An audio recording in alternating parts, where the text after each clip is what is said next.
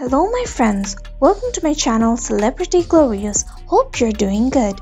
Without further ado, let's have a talk regarding Portia de Rossi's lifestyle and short biography. Portia Lee James DeGeneres, known professionally as Portia de Rossi, is an Australian-American businesswoman, philanthropist, and former model and actress. If you're new to this channel Celebrity Glorious, then tap onto the subscribe button and press the notification bell to watch more amazing celebrity video updates. So let's know in details about Portia de Rossi's biography. Her real full birth name is Amanda Lee Rogers and her nickname is Portia de Rossi. She is an actress and model. Her ethnicity is white and sun sign is Aquarius. Portia de Rossi is currently 47 according to her birth date. When it comes to her origin, she was born in Geelong, Victoria, Australia. She is an Australian by nationality. Moving on to her education, Portia attended Geelong Grammar School in Victoria and also Melbourne Girls Grammar School in Melbourne. After finishing high school, she studied law at the University of Melbourne. Portia de Rossi's net worth is on 2020 is 50 million US dollars. Rossi's body type: slim, height 5 feet 8 inches, weight 57 kgs. Rossi's distinctive feature long blonde wavy hair.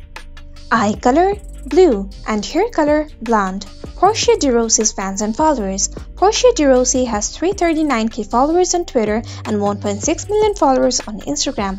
Portia de Rossi's boyfriend or spouse. Ellen DeGeneres, 2004 to present. In December 2004, American comedian and talk show host Ellen DeGeneres started dating Portia de Rossi. There is a huge 15 years age difference among the two, with Ellen being older than Portia. After the ban on same-sex marriage was lifted in United States, Ellen proposed her with a 3-carat pink diamond ring. They married on August 16, 2008 in Beverly Hills. Moving on to Portia de Rossi's career. First film, she appeared in the 1994 film Sirens for her role as Giddy, starring Ellie Macpherson, Hope Grant and others.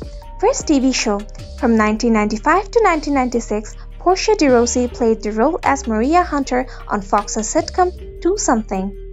Portia de Rossi is best known for playing Lindsay Bluth Fünke in the sitcom Arrested Development from 2003 to 2006, and then in 2013, for which she also won two awards in 2003 and 2005. Lastly, let's watch Portia de Rossi's house.